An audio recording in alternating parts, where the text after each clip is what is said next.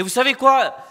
Lors de mon dernier message, je pensais un mois de cela, je vous ai dit, il y a un ras-le-bol, ça fait un an et demi, deux ans que ça dure dans mon cœur. Il y a un ras-le-bol qui s'est levé dans mon cœur. J'en peux plus. Je vais vous dire ceci, c'est que moi, je me contente pas juste de venir ici le dimanche, chanter quelques chants, lever mes mains, avoir quelques frissons sur mon dos et rentrer chez moi et avoir des gens qui sont dehors en train de vivre des choses en dehors de ce que Dieu veut qu'ils vivent.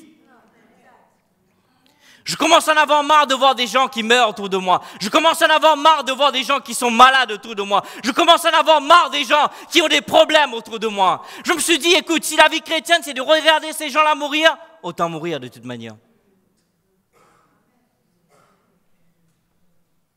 Combien de temps ça va durer?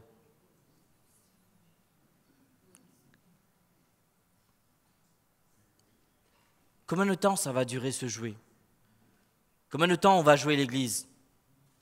Oh, pasteur n'a pas prié pour moi. Oh, pasteur, pendant qu'il prêchait, il m'a pas dit bonjour. Oh, ceci, oh, cela. Pendant que vous êtes en train de jouer vos guéguerres spirituelles, il y a des gens de l'extérieur qui sont en train de mourir. À chaque seconde dont je vous parle, il y a des gens qui meurent. Que sommes-nous, l'Église, en train de faire par rapport à ça?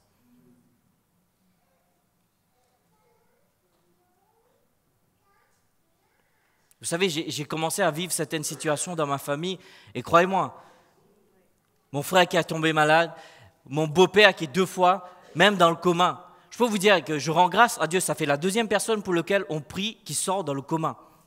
Et je veux vous dire, si le diable arrive, il me dit que quelqu'un est dans le coma, il ne peut pas s'en sortir, il arrive trop tard. Ça fait la deuxième. Je dis, il n'est jamais deux sans trois. Gloire à Dieu. Vous savez, des fois, on dit des expressions françaises, elles ne sont pas bonnes. Il y a des expressions qui sont très bonnes ici chez nous. Impossible n'est pas français, j'aime ça.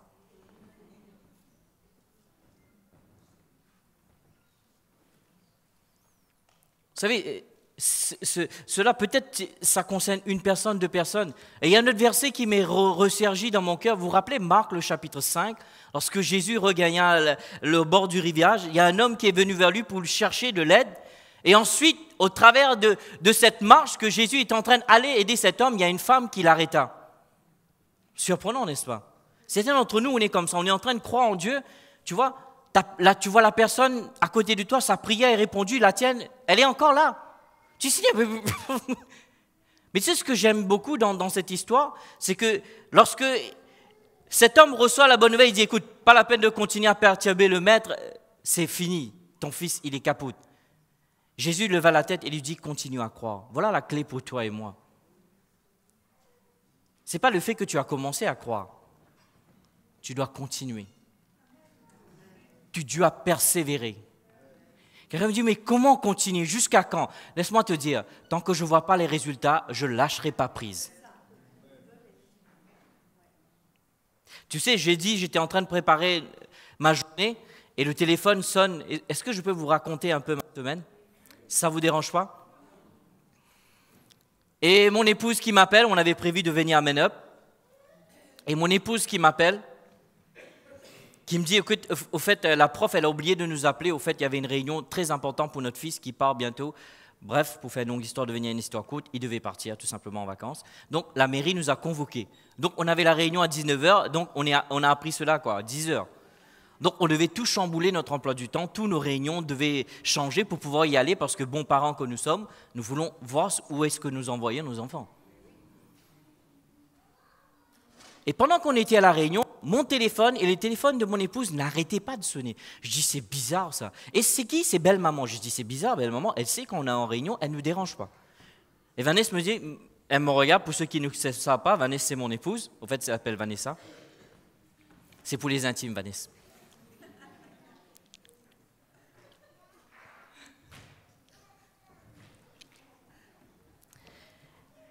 Et me dit, Sam, je pense qu'il y a quelque chose qui se passe. Écoute, on va appeler maman. Et vous savez quoi? Lorsqu'on a appelé, on était scotché. D'entendu, vous savez, dans la semaine, il y a un de mes neveux, son épouse vient d'accoucher. Et juste avant l'accouchement, elle avait un simple rhume.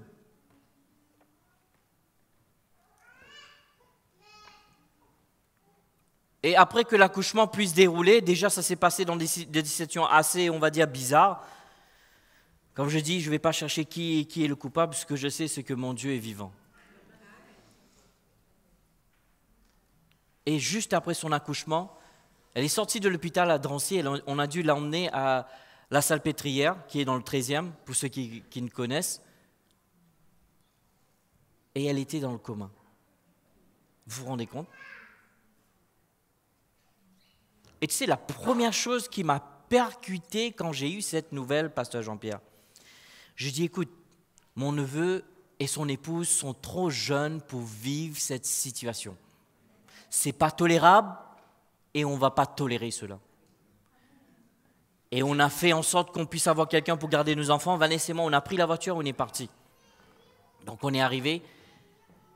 J'ai j'ai commencé, bien sûr, à lui prendre dans bras. De, c'est la première chose, vous savez, quand vous, quand vous, avez ce genre de situation, des fois, euh, nous, chrétiens, des fois, on, réagit très, très mal. Tu sais, ce n'est pas le moment de dire oui, où est ta foi Tu dois juste fermer ta bouche et tu vois la personne, tu le prends dans tes bras et tu le serres très, très, très fort. Tout ce que cette personne a besoin, c'est de ressentir ton amour. Et déjà, il ne savait pas si j'allais arriver. Parce que quand on m'a donné une nouvelle, je dis, dis-lui pas que j'arrive. J'arrive tout de suite avec Vanessa. Et après, je lui ai dit, écoute, il était presque une heure du matin, je pense. On était encore à l'hôpital avec eux. Et je lui ai dit, descends, on va prier. Et juste avant de prier, je lui ai regardé droit dans ses yeux. Et quand je lui parlais, je parlais non seulement à lui, mais je parlais à toutes ses forces derrière. Je lui ai dit, écoute, tu sais, tu es trop jeune pour vivre cela. Tu connais ton Dieu et tu sais dont il est capable. Alors ce qu'on va faire, toi et moi, on va se mettre en agrément tout de suite et on va prier, on va solutionner ce problème. Et est-ce que lorsqu'on a prié, tout est parti? Non, je ne pense pas. Et je leur ai dit, écoute, samedi, ce qu'on fait, on décrète une journée de jeûne et de prière. On a jeûné, on a prié. Et on nous a conseillé, euh, avec l'aide de Dieu, Dieu merci pour nos épouses. Est-ce que les hommes peuvent dire Amen? Oui. Oui, parce que Vanessa a commencé à, dire à mon neveu, écoute, tu sais ce que tu devrais faire quand tu vas voir ton épouse, tu dois lui parler. Tu dois lui parler de, ce que tu es en train de vivre, comment le bébé est là, et lui dire, écoute, ce n'est pas le moment de nous lâcher, on t'attend. Je dis, waouh, ça c'est une femme de foi, gloire à Dieu, alléluia. J'ai fait le bon choix, gloire à Dieu. Et tu sais quoi? Hier soir, le téléphone sonne. Il était en train de parler et l'infirmière est rentrée en même temps. Il dit, Monsieur, vous pouvez parler plus fort. Et lorsque l'infirmière lui a parlé, elle a ouvert ses yeux.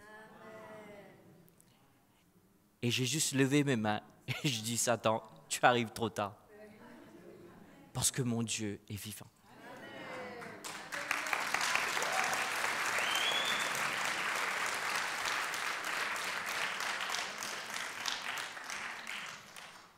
Alors peut-être tu es dans, ce lieu, tu n'as pas encore vécu jusque la mort, tu n'as pas encore vécu jusqu'au coma. Mais je peux te dire, ne perds pas ta confiance en ton Dieu. Dieu est capable de faire des miracles. Dieu est capable de faire des prodiges. Je ne sais pas, avant de venir, je voulais juste demander à mon neveu si je pouvais témoigner cela. Parce que vous savez, des fois, on vit des choses et on ne témoigne pas assez de ce que Dieu fait. Allô? Et il y a autre chose, pasteur Jean-Pierre, que Dieu est en train de changer dans mon cœur. Tu sais, ce, super verset que tout le monde croit. Vous serez mes témoins dans Actes le chapitre 2. Est-ce que vous savez que nous sommes en train de mal interpréter ce verset? Lorsqu'il a dit vous serez mes témoins, il n'a pas dit que tu prendras une Bible, tu iras dehors là-bas pour crier. Tu sais, c'est quoi un témoin? Un témoin, c'est simplement quelqu'un qui relate les faits. Alors ce que je suis en train de faire, je suis en train d'être un témoin ce matin relater le fait que mon Dieu est vivant et il est les ressuscité, il n'a point changé. Et si tu es dans un point où tu es coincé, mais ne t'inquiète pas, sa main n'est pas trop courte pour t'atteindre, gloire à Dieu, alléluia. Peut-être tu es dans une situation, gloire à Dieu, qui semble être impossible. Laisse-moi te dire, son oreille n'est pas trop bouchée pour t'entendre, gloire à Dieu. Il dit, tu sais, lorsque j'étais en train de prier, je dis, Père, tu m'as dit dans ta parole, invoque-moi et je te répondrai. Je dis, écoute, je suis en train de t'invoquer, Abba. Tu as donné ton Fils pour que nous ayons la vie, la vie en abondance. Alors comment tu dois te virer de là? La mort, tu dois te virer de là. Maladie, tu dois te virer de là. Parce que mon Dieu est vivant et il règne, gloire à Dieu.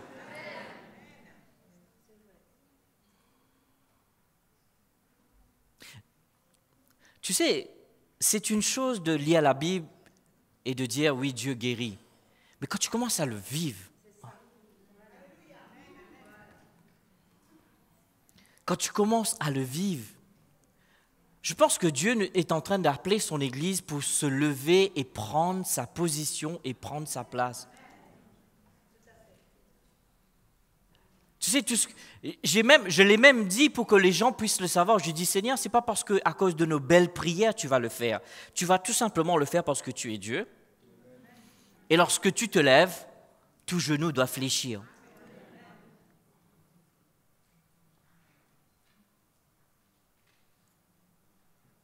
Comment arriver dans cette étape où tu vis une situation de ta vie où que ta foi pas, ne sera pas vacillée? C'est que tu dois arrêter d'écouter Hollywood.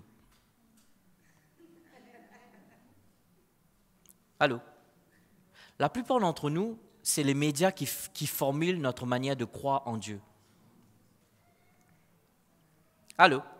La plupart d'entre nous, c'est la tradition qui a formé notre conviction en Dieu.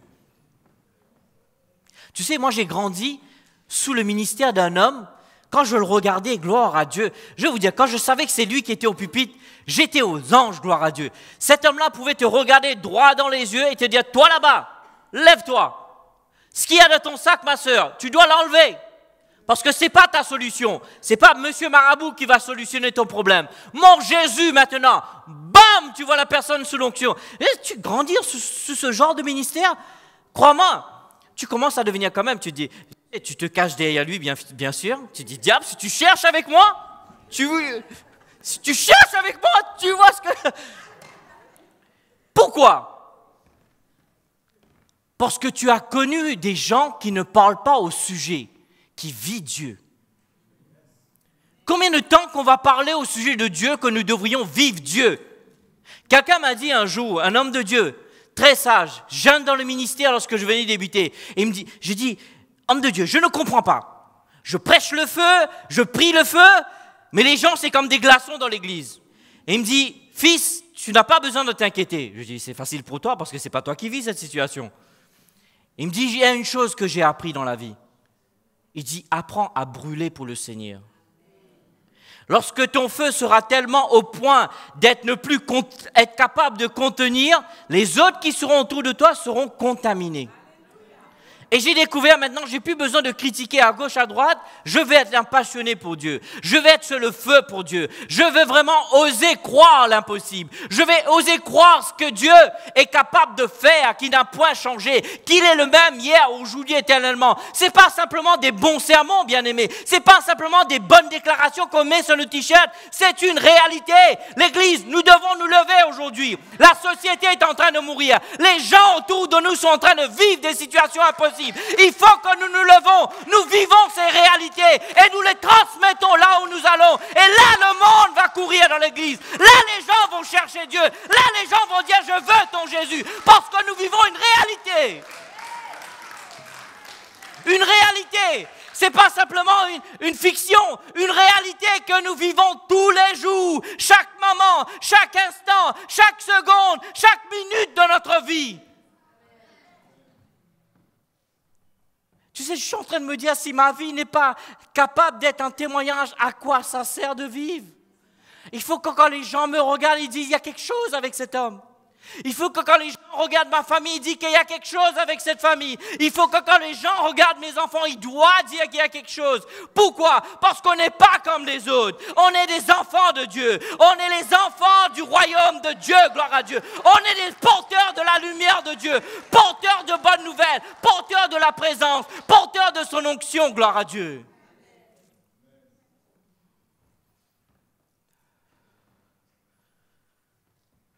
Alors qu'allons-nous faire? Tu sais, maintenant que quelqu'un vient avec moi, il me demande la prière, j'ai commencé à apprendre à faire comme Jésus. Je dis, Père, entre tes mains, je remets cette situation. Parce que je ne serai pas capable de faire quoi que ce soit.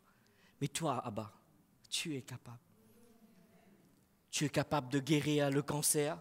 Tu es capable de guérir le sida. Tu es capable de guérir peu importe quelle maladie parce que ton fils a pourvu, gloire à Dieu. La rançon a été payée, la dette a été annulée, gloire à Dieu, alléluia. Plus besoin de subir maintenant. Alors combien de temps nous allons subir? Certains d'entre nous, nous avons commencé à dire, oui, de toutes les manières, tu sais, tout le monde vit cela.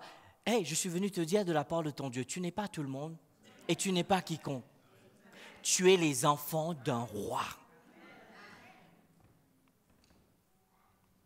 Allô? Excusez-moi, j'avais ma série bien préparée, mais ça brûle dans mon cœur. Combien de temps, combien de ça va durer? J'ai dit à Dieu, je dis Dieu, il faut que tu m'emmènes dans ce niveau, dans le niveau que toi, que tu veux que je sois. Il faut que quand les gens me regardent, ils doivent me poser la question, Sam, comment tu fais? On a le même travail, on a les mêmes problèmes, on vit dans le même pays, comment toi tu t'en sors et moi je m'en sors pas? Ah ah Là je suis un témoin. J'ai dit, tu sais, viens au D115 avenue Président Wilson, tu le sauras. Et là, il verra que j'adore mon Dieu. Et là, il comprendra sans même que j'ai besoin de lui dire le mot Jésus. Il comprendra, il y a quelqu'un qui marche avec moi, gloire à Dieu, qui ne m'abandonne pas, qui ne me délaisse point. Parce que mon Dieu est vivant. Maintenant, quand quelqu'un prie, je dis, écoute, même hier, ils étaient en train de me, dire merci. Je dis, ah, ah, ah, c'est pas moi, c'est lui. C'est lui.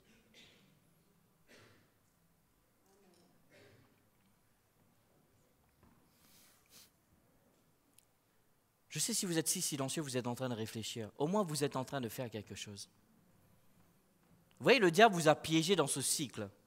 Si je n'ai pas mes prières répondues, je n'ai pas mon augmentation au travail, je n'ai pas mes jours de congé, euh, tu vois, tu es en train de te perdre. Jésus a dit, ne vous inquiétez pas pour ces choses futiles. Et Jésus parle des choses importantes pour l'homme futile. Il dit, cherchez premièrement le royaume.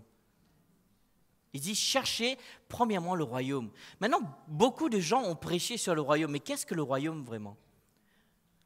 Un royaume, tout simplement, trois éléments qui sont importants pour avoir un royaume, c'est d'avoir un roi, d'avoir un territoire sur lequel le roi, le roi envoie sa domination et avoir de sujets. Mais la différence avec le royaume de Dieu et le royaume naturel, c'est que dans le royaume naturel, le roi domine sur ses sujets. Mais dans le royaume de Dieu, c'est différent. C'est pour ça que Jésus a dit, je suis le roi des rois. Selon vous, qui croyez-vous qui étaient les autres rois? Allô? Vous avez, vous avez lu dans votre Bible? Le roi des rois. Vous vous rendez compte? Vous savez, je voudrais vraiment, je ne suis pas en train écoutez, je suis pas en train de vous critiquer, mais moi, il y a un ras-le-bol qui s'est levé. Euh, excusez-moi, je peux vous le dire, cela? Vous me permettez d'être sincère avec vous? Tu sais, il y a un ras-le-bol qui s'est, qui s'est levé dans mon cœur. Je suis fatigué, tu sais. Euh, on vient à l'église, on joue, tu sais, on chante, on tout, on rentre à la maison.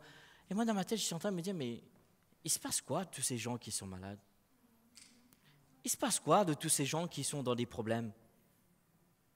Moi, quand je lis le livre sur lequel j'ai battu ma vie, j'ai vu les ombres des gens guérir. Est-ce que ce Dieu-là, il a changé?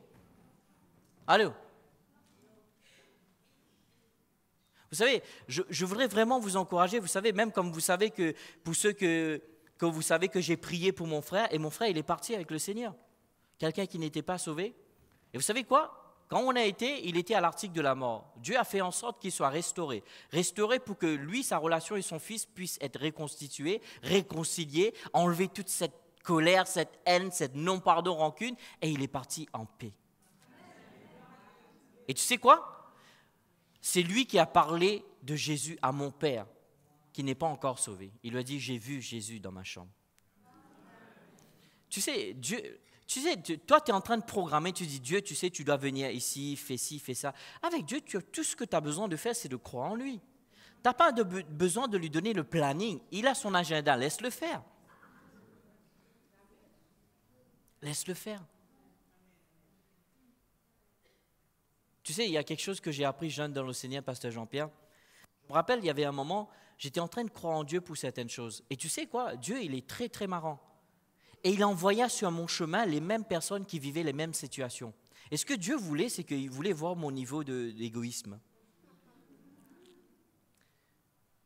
Tu sais, si tu pries pour la personne qui a le même problème que toi, tu dis Seigneur, tu sais, je prie pour lui, mais n'oublie pas à moi. Ça marche pas. je l'ai testé. Ça marche pas. Non. Lorsque Dieu a commencé à travailler mon cœur, je dis Seigneur, je ne me préoccupe pas de mes problèmes. Ce frère, cette sœur a besoin de ça. Tu dois te montrer fort dans sa vie. Tu dois te révéler dans sa vie. Tu dois te manifester. Tu dois le pouvoir, Seigneur. Et lorsque j'ai commencé à faire cela, sans me rendre compte, j'étais en train de cumuler dans mon compte céleste des crédits à mon compte.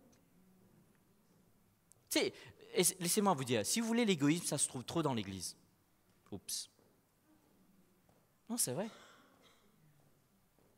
Mes problèmes, mes soucis. Comment trouvez-vous, je vais juste lever pas votre main, d'accord? Comment trouvez-vous, vous êtes venu à l'église ce matin en disant Seigneur, je veux que tu m'utilises pour bénir quelqu'un? Ou vous êtes en train de venir, Seigneur, j'espère qu'il y a une parole pour moi est-ce que je suis, c'est vrai ce que je dis ou pas? Si vous ne pouvez pas dire Amen, vous pouvez dire ouille-moi. Mais ce concept-là, ça doit être changé. Ça doit changer. Moi, les AJBB, j'entraîne les jeunes. Je leur dis, quand tu viens à la Réunion, viens dans l'attitude que tu vas être le, celui qui va contribuer dans la Réunion, pas un spectateur. Et vous, l'Église, quand vous venez aussi, venez comme quelqu'un qui va contribuer. Lorsque vous contribuez, vous savez, vous n'avez aucune idée. Vous savez, ce qu'on est en train de vivre dans la louange, comment d'entre vous vous aimez cela? Est-ce que vous savez que c'est rien ce que Dieu veut pour nous? C'est même pas un millième ce que Dieu veut pour nous. Lorsque toute l'Église se joint, il y a une onction qu'on appelle cela l'onction corporative. Tout le monde se joint. Est-ce que vous avez déjà lu dans le livre de Chroniques? C'est vrai que je parle de beaucoup de choses, mais c'est sur mon cœur. Je peux être, juste libre aujourd'hui pas être lié avec des traditions, juste être libre, vous partager. Vous savez, c'est comme si vous venez chez moi dans mon salon et que je serais en train de prendre une tasse de thé et discuter avec vous. Je peux faire ça? Vous avez jamais lu dans, dans le livre de Chroniques? Lorsque tous les peuples, ils étaient dans un même lieu, d'un même cœur, la Bible dit que la gloire s'est manifestée et les sacrificateurs n'ont même pas pu faire leur travail. Vous savez pourquoi? Parce qu'ils avaient appris l'onction corporative. Lorsque nous, au Bon Berger, nous allons apprendre cela, se joindre tous ensemble. Lorsqu'on va commencer, lorsque le groupe de louange dit Allez, on va louer, ce n'est pas le moment de regarder si ton pantalon il est bien repassé ou pas. Les hommes, bougez pas trop, ok?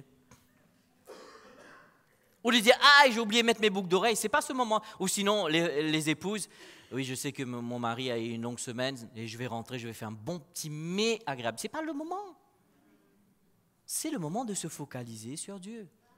Mettre toute notre attention sur lui. Lui donner toute la gloire. Est-ce que vous vous rendez compte lorsque une église qui, qui, a au moins 300 personnes qui se joignent tous ensemble dans un même but, avec un même objectif pour glorifier le nom du roi des rois, hey, quand ce roi-là, il vient, il va, il va se passer certaines choses. On n'a même pas besoin d'attendre l'autel. Vous allez voir l'autre qui tombe là-bas, lorsqu'il se relève, il est guéri, gloire à Dieu. Tu vas voir l'autre qui tombe là-bas, tu vas voir qu'est-ce qu'il fait. Ah, j'étais confus, maintenant j'ai plus de problème de confusion, gloire à Dieu. Pourquoi? Parce qu'il se manifeste. Là, je suis en train de vous parler, c'est un qui vous dit, oui, mais je vais voir ce qu'il peut me dire encore pour me surprendre. Écoute, si tu viens à l'église avec cette attitude, tu perds ton temps, frères et sœurs. Oui, je vais voir à l'église si le pasteur peut me bouger. Si tu attends ça, tu les poules vont avoir des dents, tes cheveux vont tomber, rien va se passer. Ce n'est pas derrière un homme que tu dois attendre, encore moins d'une femme. C'est derrière Dieu. Ta confiance doit être sur Dieu. Vous savez, un jour, il y avait Bénigne qui était euh, en France. Et je me suis dit, écoute, depuis le temps que je suis Bénigne, il faut qu'il prie pour moi, cet homme je vous raconte certaines choses, ça va vous libérer dans votre manière de, participer dans la réunion de l'Église. Et pendant qu'il appelait les gens, vous savez qu'ils font ça souvent, ils appellent des gens, tout le monde commence à, ouais, je dis, écoute, je suis, personne ne pourra me battre au 100 mètres, tu vois ce que je veux dire? J'étais on the go, tu vois, j'étais prêt, prêt, prêt. Et je voulais courir, et j'ai eu le temps que cligner les yeux comme ça, il y avait une bondée de gens qui étaient devant. J'ai dit, Jésus, avant qu'il arrive chez moi, il va être fatigué là. Et là, le Saint-Esprit m'a parlé. Le Saint-Esprit me dit, Sam, est-ce que tu crois que je peux te toucher sans même que Bénigne t'impose les mains?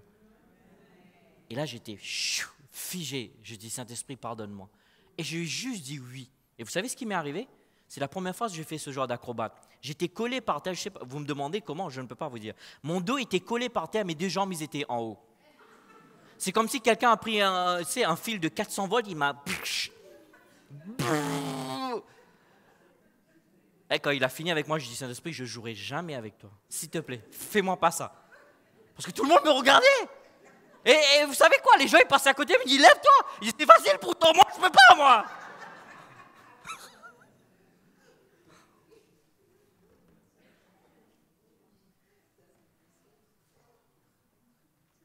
voyez, des, fois, on, oublie ce genre de réalité que Dieu est capable. Dieu est capable. Dieu est puissant. Dieu est fort. Dieu est glorieux.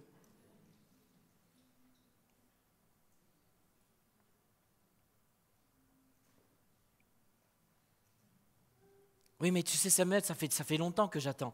C'est quoi longtemps pour toi? C'est quoi longtemps pour toi? Tu crois c'était pas longtemps pour Dieu d'attendre 33 ans pour revoir son fils à sa droite? Il l'a envoyé pour toi. C'est quoi longtemps pour toi? Allô? T'imagines? Non, euh, juste pensez-y. Vous imaginez que tout ce que Jésus était en train de vivre, comment le Père... Nous, on dit, oh oui, il, a souffert pour nous. Est-ce que vous imaginez une seconde ce que le Père était en train de vivre à ce moment-là? Je me dis, moi, si le Père a fait tout ça pour moi, pourquoi il ne permettra maintenant que je vis une vie troublée? Pourquoi il veut maintenant que je vis une vie comme, euh, comme un exemple? On discutait avec Vanessa, il dit oui, mais tu sais, Dieu t'a envoyé cette maladie. Si tu crois ce genre de bêtises, excuse-moi, je suis en train de te dire, tu es à la mauvaise place. Dieu n'est pas schizophrène, il ne rend pas malade, il ne guérit pas. C'est quoi ce genre de Dieu? Mon Jésus, il n'est pas comme ça. Écoute, écoute, écoute. Comment vous croyez que Jésus est venu faire la volonté de Dieu? Vous le croyez? Croyez-vous que Acte 10, 38 se trouve dans la Bible? Comment Dieu avait oint Jésus-Christ de Nazareth du Saint-Esprit allant de lieu en lieu faisant quoi? Faisant quoi? Rendant malade en faisant du bien? Alors comment tu peux oser de dire, toi chrétien, que Dieu te rend malade? Si tu me dis tu crois en Jésus et Jésus est venu faire la volonté de Dieu. Oui, nous croyons ce genre de stupidité. Je parle dans l'église. Shandai, Shandai, Amen. Ceux qui croient en Dieu, qui ont la foi, qui ont été baptisés, qui prient en langue. Les gens qui croient cela. je ne vous dis pas cela juste pour pouvoir dénigrer les gens. Non, vous savez ce que je suis contre? Je suis contre ces faux concepts, ces mensonges que le diable a envahi notre mentalité, qui nous empêchent de voir la réalité de l'évangile. Ces faux concepts, au lieu d'entendre des messages prêchés du Nouveau Testament, on a eu un lavage de cerveau, des, sermons qui sont bâtis par des, des, dogmes, des convictions humainement parlant.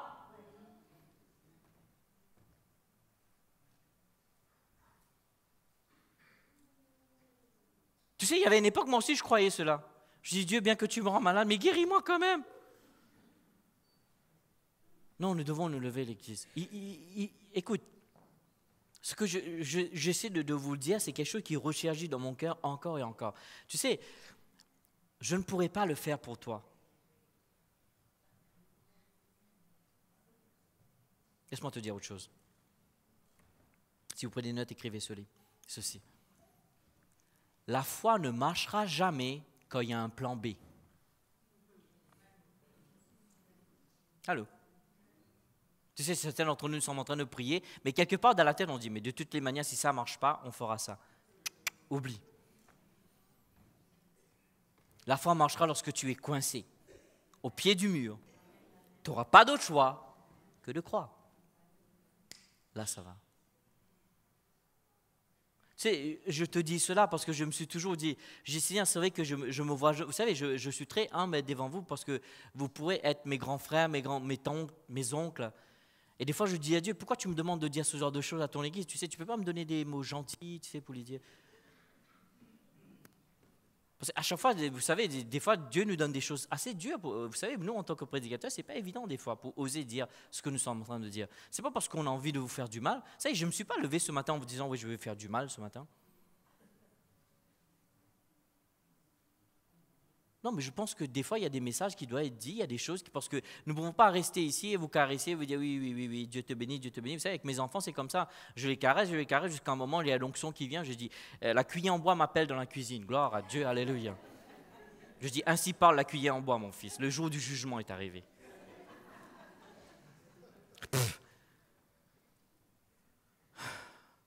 Mais si toi et moi, on ne se lève pas dans cette, dans cette position pour notre foi, euh, bien aimé, je ne sais pas si j'arrive à bien communiquer ce que je ressens dans mon cœur. Combien de temps nous allons tolérer cela?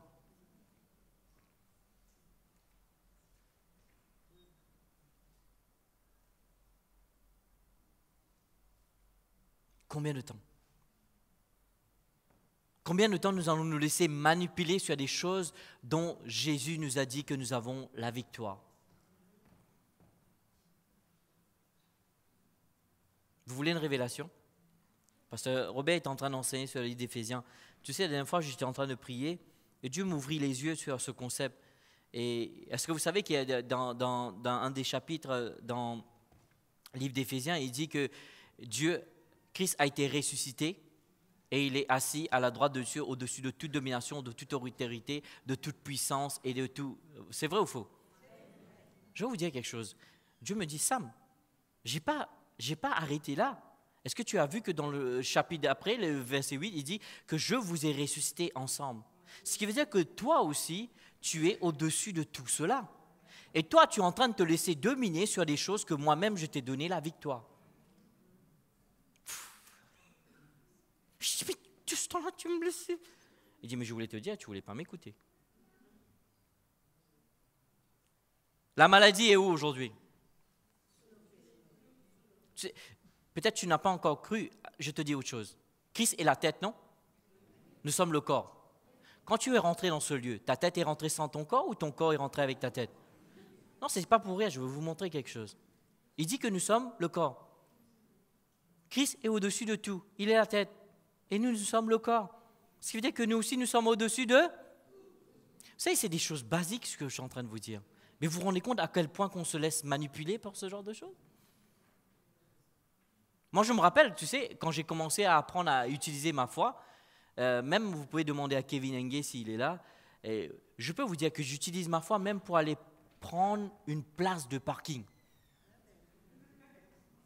Et dès qu'une place, dès que je rentre, il y a une place qui sort, je regarde Kevin, il était en train de faire l'écho, je dis, ça c'est la faveur de Dieu. Alléluia, gloire à Dieu. Tu sais, n'attends pas qu'il y ait un gros problème pour utiliser ta foi. Utilise ta foi pour aller trouver une place dans le parking pour faire tes courses. Il faut commencer quelque part, gloire à Dieu. Mais lorsque tu as vu que ça marche, alors on peut aller à un autre niveau maintenant. Tu as un rhume. Tu commences à utiliser ta foi.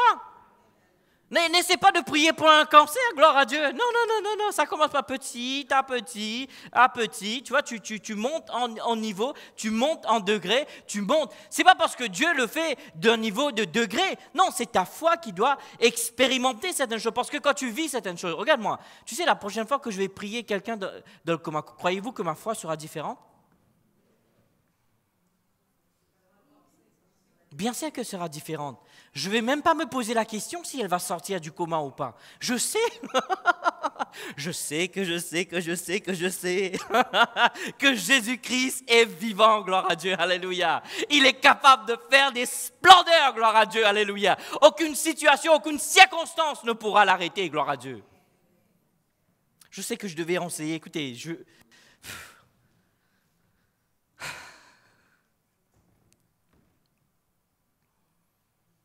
savez, vous savez combien de temps j'ai dû prendre me répandre, pasteur Jean-Pierre? Papa, pardonne-moi.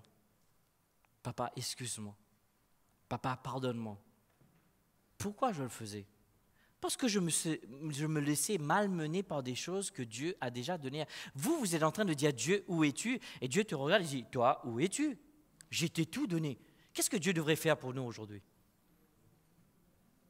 Je vais vous poser une question. Maladie, réglée ou pas? Pauvreté, réglée ou pas? La mort spirituelle, réglée ou pas? Confusion, réglée ou pas? Division, réglée ou pas? Comment entre nous nous frappons la porte de pasteur Robert pour lui dire écoute, non maintenant c'est les culs que je. C'est pas pour se moquer de vous. Ce que j'essaie de vous dire, c'est que vous devriez comment. Vous savez ce que je trouve que l'Église a perdu, Pasteur Jean-Pierre? Si vous prenez des notes, écrivez-le sur la table de votre cœur parce que c'est une réalité. Je le constate. De plus en plus, nous en Europe, surtout nous en France, l'aide sociale ici en France est une bénédiction, mais malheureusement, c'est devenu une malédiction. Tu sais, moi, chez moi, à l'île Maurice, quand quelqu'un ne travaille pas, il n'a pas le chômage. Il vit ce, verset qui dit quand quelqu'un ne travaille pas, il ne mange pas. C'est une réalité pour lui. Mais tu pas compte Quand tu perds ton travail, tu as le chômage. tu as l'assistance sociale. Tu vas pleurer quelques larmes, elle va te trouver des sous. Je ne suis pas contre cela, bien aimé. Dieu merci pour cela. Mais vous vous rendez compte comment ce système-là nous a bridés pour ne pas mettre nos yeux sur Dieu. Maintenant, nos yeux sont sur le gouvernement au lieu d'être sur Dieu. Et après, lorsqu'on percute un problème, on se demande pourquoi on n'arrive pas à croire. Parce que notre foi n'est pas dans la bonne place.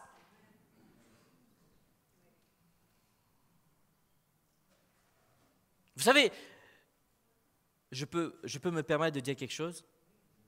Vous êtes sûr? Vous n'allez pas me virer? Vous n'allez pas être blessé?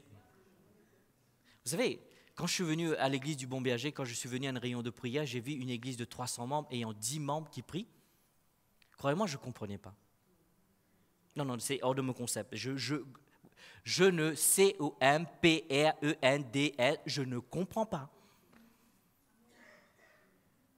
Vous savez, j'ai donné le témoignage quand j'étais à l'île Maurice. Tous les pasteurs qui m'invitaient pour prêcher, on avait une réunion avant la prédication à 5 h du matin, pasteur Jean-Pierre. Et tu sais quoi? La quantité de personnes qui venaient à la réunion à 10 heures était la même quantité qui priaient à 5 heures du matin. Tu voyais des grands-mères. Ici, vous avez le métro, vous avez le RER, e vous avez des voitures, vous avez des bus, vous avez des RER, e vous avez des TGV, vous avez des avions, vous avez des hélicoptères.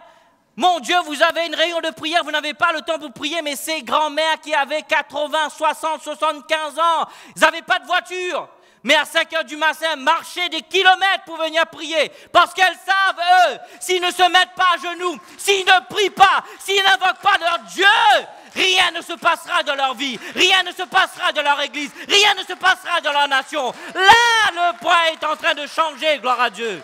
Et après, on se demande pourquoi il n'y a pas le réveil. Laisse-moi te dire, Dieu ne peut pas réveiller la France si l'Église ne se réveille pas.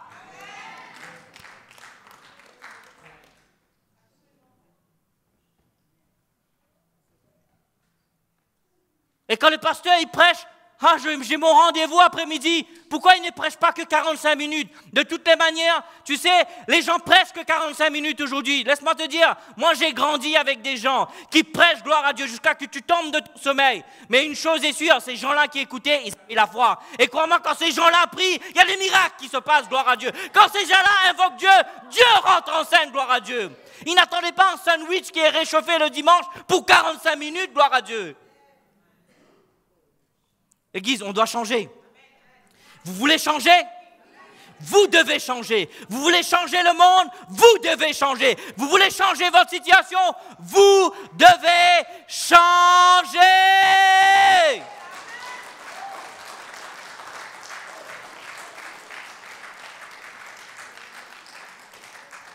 Eh, moi j'ai grandi.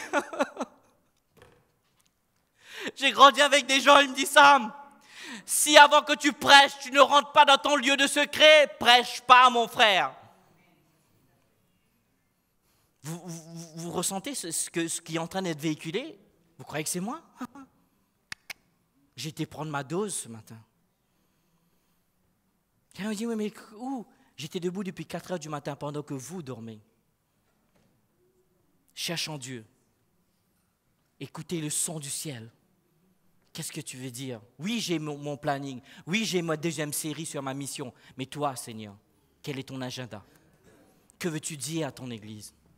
Oh, je sais que vous avez été secoué ce matin. Mais l'Église, on ne peut pas continuer à faire les mêmes choses et attendre des résultats différents. Pasteur Jean-Pierre, moi je me rappelle, Vanessa était, à l'époque on était fiancés, Pasteur Catherine, Vanessa était encore au lycée. Quand je regarde des gens aujourd'hui, ils ont que leur étude, ils sont fatigués, ils n'ont pas le temps. Je vais vous dire, regardez bien mon visage. Vous savez, il y, a, quelque chose qui brûle en moi, brûle en moi, qui, je ne sais pas, je sens une imposition des mains qui arrive. Ils sont débordés.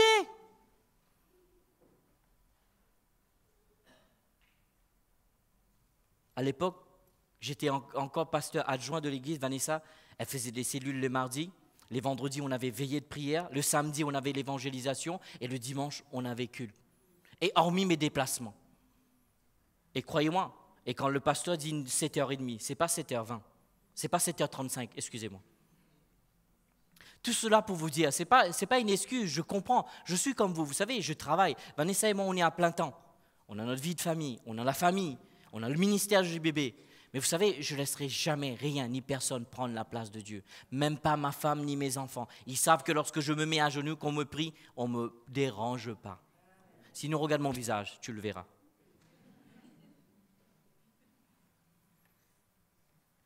Non, on doit changer l'Église. Je pense que le mot plier les genoux est, est requis dans l'Église. Certains d'entre nous, nos, genoux sont rouillés. On a oublié de savoir comment plier nos genoux et d'invoquer Dieu.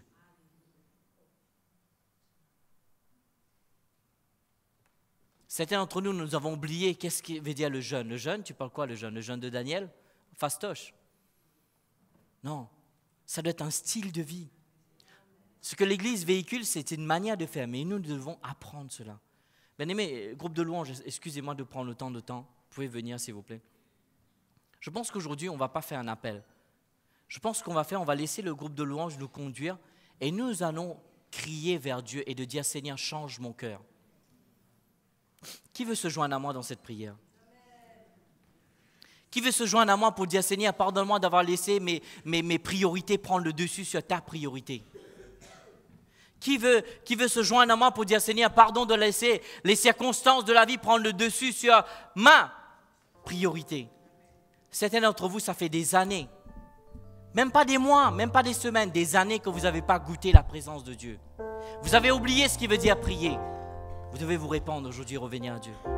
Certains d'entre vous, vous avez oublié ce qui veut dire lier à la parole de Dieu. Quand vous étiez né de nouveau, vous avez eu une passion. Mais maintenant, plus le temps maintenant, tu sais, je travaille. Tu sais, j'ai ma famille. Tu sais, j'ai des enfants. C'est plus le moment, l'église. C'est le moment que toi et moi, on se lève et on se met à genoux, on se prosterne devant Dieu et de dire Seigneur, réveille-moi parce que je veux voir les réveils ici au Bon Berger. Et de dire Seigneur, réveille-moi, je veux voir le réveil ici dans l'île de France. Et de dire Seigneur, réveille-moi, je veux voir le réveil ici en France. Je veux brûler pour toi, Seigneur. Et je veux que ton feu envahisse ce lieu, Seigneur. Et que ce lieu puisse être un centre où les gens puissent entrer en contact avec ta présence, avec ta puissance, avec ton onction, Seigneur. Levons-nous et crions vers Dieu, bien-aimés. Crions et repentons-nous et demandons le feu de Dieu ce matin. Que le feu de Dieu brûle en nous. Que le feu de Dieu brûle toutes les œuvres de la chair. Que le feu de Dieu enlève toute chose qui fait obstacle à sa présence de notre vie. Levons-nous, bien-aimés, et crions vers Dieu. Demandons-lui grâce, grâce, grâce, Seigneur. Toi qui es à la maison, crie toi aussi. C'est pas le moment de te déconnecter, c'est pas le moment de partir. Mets-toi à genoux avec nous aussi. Crie vers ton Dieu et demande-lui un renouvellement de son feu, un renouvellement de la passion, un renouvellement de la foi ce matin. Parce que crois-moi, tu sortiras différent, différent, bien-aimé. Oh, joyez-vous à moi, bien-aimé, crions vers Dieu.